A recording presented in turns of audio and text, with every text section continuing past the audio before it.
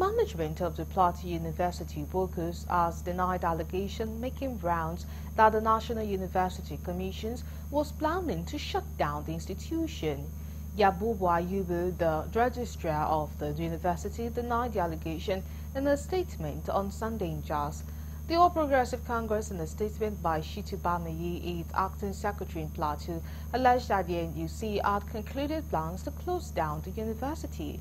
Bamiyi, in a statement, further alleged that the NUC had taken the decision to withdraw the certificate of recognition and accreditation of the institution over what it decried as the state government's meddlesomeness in the management of the university. But the registrar insisted that such allegation was not only false and misleading, but also mischievous, particularly that it was coming from a political party that has no business in the management of a university.